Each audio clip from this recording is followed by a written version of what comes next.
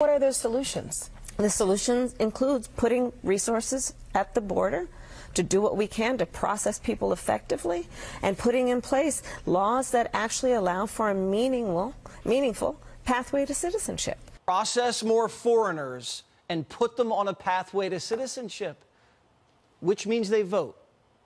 In a couple of presidential cycles, you'll be on election night. You'll be announcing that we're calling the 38 electoral votes of Texas for the Democratic nominee for president. It's changing. It's going to become a purple state and then a blue state because of the demographics, because of the population growth of folks from outside of Texas.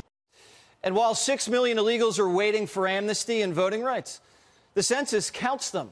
And the more illegals you have, the more money and power the politicians get. I need more people in my district, but just for redistricting purposes. And those members could could clearly uh, fit here.